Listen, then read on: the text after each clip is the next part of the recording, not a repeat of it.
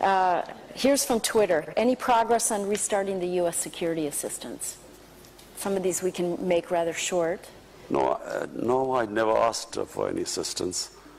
Okay. Um, also, asked for understanding, not assistance. Also from Twitter, what's an ideal Kashmiri solution from the Pakistan perspective, and one that you believe the Pakistan people will accept? I think it should not be the Pakistani people anymore. It should be what the people of Kashmir want. And, and that really is the only solution. What do the people of Kashmir want?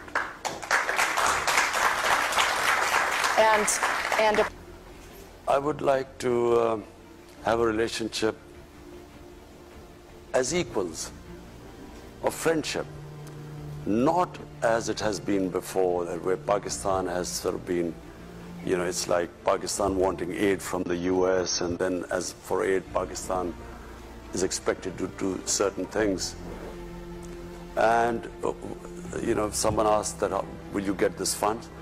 I hate the idea that we would be asking for funds, not US, from anyone. Because this is, aid has been one of the biggest curses for my country. What it has done is, what it has done is, it has created the dependency syndrome. We have become, you know, I, I, when I went on my first trip to Saudi Arabia, I came back, what have you got from there? As if I'd gone there to beg for money. And I think it's humiliating for a country. Countries rise because of self-respect and self-esteem.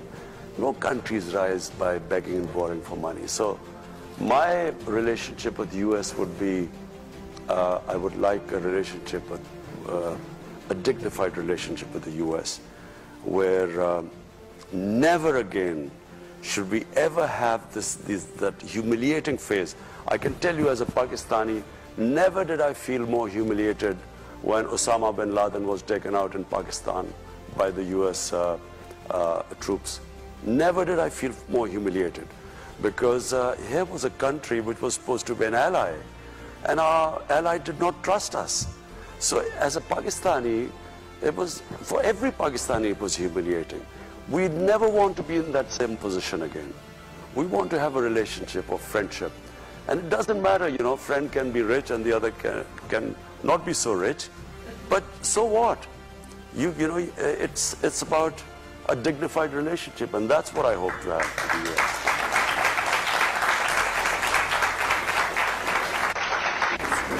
I'd like to present you with a small token of our appreciation for your visit Thank here. Nancy. Uh, invite you to come back and wish you all the best. Please join me in thanking the Prime Minister. Thank you.